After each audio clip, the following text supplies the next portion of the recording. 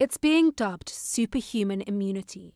New research shows some people may have a significantly higher level of immunity to COVID 19 that could even protect them from future pandemics.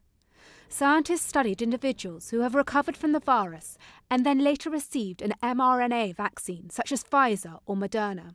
What they found was that protection against a disease and its variants was higher than immunity conferred by either infection alone or vaccine alone. Paul Bieniasz is a virologist at the Rockefeller University. He prefers the term hybrid rather than superhuman immunity.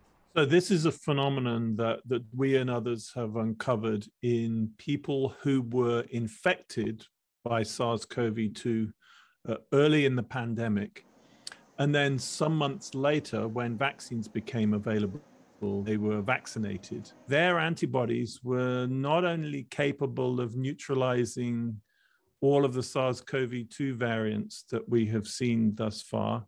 They're also capable of neutralizing viruses that are very much more diverse, including uh, the original SARS coronavirus, which is really quite different to the current ones, viruses that are currently circulating in bats and pangolins. Bieniasz went on to urge caution, stressing that the research is new and needs more real world testing. He said it did offer hope, though, for the people who had recovered from the disease and been vaccinated. His team is investigating whether a third booster shot has the same effect. So far, more than 226 million people around the world have been infected with COVID, and some 4.8 million people have died. The World Health Organization has said another flu pandemic is inevitable, that it is a matter of when, not if.